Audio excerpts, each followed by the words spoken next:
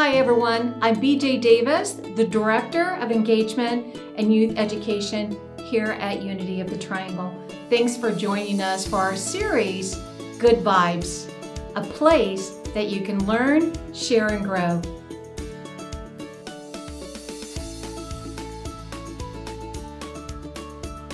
Hello, and welcome to Good Vibes, a platform that's dedicated to inspiring you and those you love to live a fun, enjoyable, abundant life.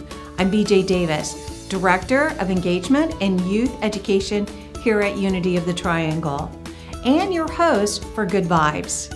We are kicking off this year by dedicating this month to exploring and implementing best practices that can help help you build your best life.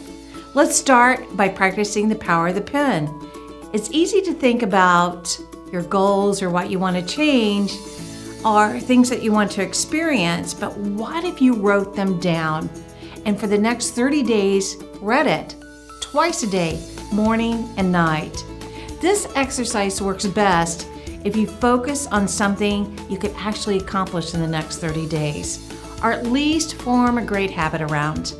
Knowing that you could actually hold yourself accountable for a goal, no matter how big or small, can help build momentum to actually experience your best life now. If you want to be held accountable at a greater level and you're ready to be fearless, share your 30 day, no excuse, I'm gonna get her done goal below.